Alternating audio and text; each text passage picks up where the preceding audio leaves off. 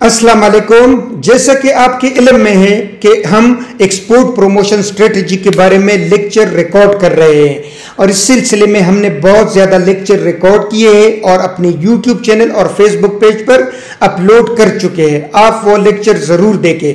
आजकल हम मार्केटिंग के बारे में लेक्चर्स रिकॉर्ड कर रहे हैं और इस सिलसिले में हम अपना पहला लेक्चर जो एग्जीबिशन के बारे में था, वो ब्रॉडकास्ट कर चुके हैं। आप वो भी ज़रूर देखें।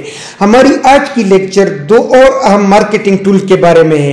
एक को हम कहते हैं डिस्प्ले और दूसरे को हम कहते हैं ई कॉमर्स तो आइए इन दोनों टूल्स को मुख्तसरन समझते हैं। सबसे पहले हम डिस्प्ले को समझते हैं। डिस्प्ले से मुराद एक ऐसी मार्केटिंग टूल है, जिसके तहत हम अपने प्रोडक्ट मुख्तलिफ़ तरह के डिपार्टमेंटल स्टोर में डिस्प्ले करते हैं। ये departmental store mega departmental store भी हो सकते हैं, दरमियानी दर्जे के स्टोर भी हो सकते हैं और छोटे स्टोर भी हो सकते हैं। तो ये हम ऐसे स्टोर में डिस्प्ले करते हैं अपने प्रोडक्ट जहाँ पे हमारे पोटेंशियल कस्टमर्स आते हो। और फिर इन प्रोडक्ट के साथ हम एक मालूमती किताबचा भी फराम करते हैं यानी इंफॉर्मेशन लिपलेट और फिर इस मालूमती किताबचे में उस प्रोडक्ट के बारे में मुकम्मल इंफॉर्मेशन दी जाती है। यानी उस प्रोडक्ट की डिस्क्रिप्शन क्या है उसकी यूटिलिटी क्या है उसका मेथड ऑफ़ यूज़ क्या है और वो किस तरह आ, हम परचेज कर सकते हैं। तो ये सारी इंफॉर्मेशन फिर उस मालूमती किताबचे में दी गई होती है। इसके लिए तरीक़ेकार बहुत आसान है। आप उन मेगा डिपार्टमेंटल स्टोर या दरमियानी दर्जे की जो स्टोर है या छोटे स्टोर से तो उनके इंटरप्रेन्योर के साथ आप रबता करें, उनके साथ निगोशिएट करें और फिर उनको प्रॉफिट में से, उस प्रोडक्ट से जो प्रॉफिट आता है तो उसमें से कुछ शेयर उनको ऑफ़र करें।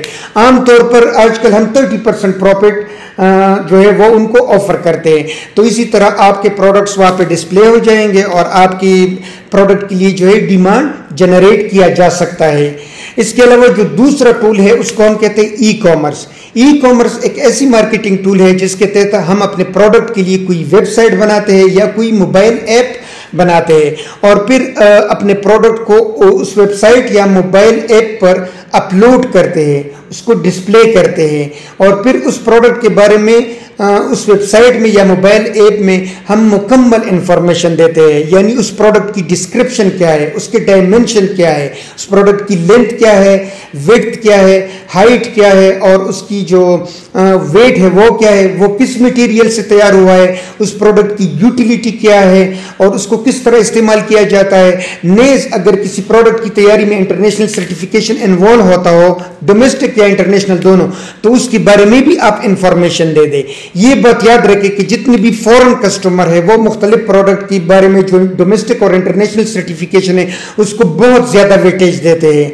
फॉर एग्ज़ाम्पल एक सर्टिफिकेट इस तरह की भी हो सकती है कि इस प्रोडक्ट की तैयारी में जो इन्वायरमेंटल स्टैंडर्ड है, उसका ख्याल रखा गया है।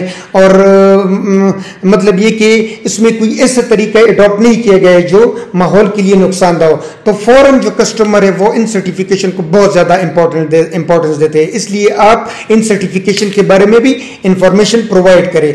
इसके अलावा इस वेबसाइट या मोबाइल ऐप में आ, अगर कोई ऑनलाइन परचेस करना चाहे तो वो इस वेबसाइट या मोबाइल ऐप के ज़रिए उसके लिए तरीक़ाकार को आप आसान बनाए कि वो आसानी से अपना ऑर्डर प्लेस कर सके। इसके अलावा आप जो कस्टमर है उनको मल्टीपल मेथड ऑफ़ पेमेंट भी प्रोवाइड करें। ये पेमेंट एडवांस पेमेंट भी हो सकती है थ्रू क्रेडिट कार्ड और डेबिट कार्ड और ये डिफर्ड पेमेंट भी हो सकती है। लाइक पेमेंट ऑन डिलीवरी तो आप ये तमाम तरीक़ेकार अडॉप्ट करें। मतलब कंज्यूमर के लिए आसानियाँ पैदा करें ताकि वो आसानी से उस चीज़ को खरीद सके। और फिर इसके लिए ये भी ज़रूरी है कि अगर आप वर्ल्ड वाइड अपने प्रोडक्ट की फिर डिलीवरी करना चाहते हैं तो इसके लिए ये ज़रूरी है कि मुख्तलिफ़ जो कोरियर कंपनीज़ है, जैसा कि लिफॉर्ट फेडेक्स टीसीएस वगैरह तो इनके साथ आप एक एमओयू भी साइन करें ताकि आप स्पीडली फिर वो प्रोडक्ट कंज्यूमर को डिलीवर कर सके। तो उम्मीद है आप इन दोनों टूल को समझ गए होंगे। Thank you very much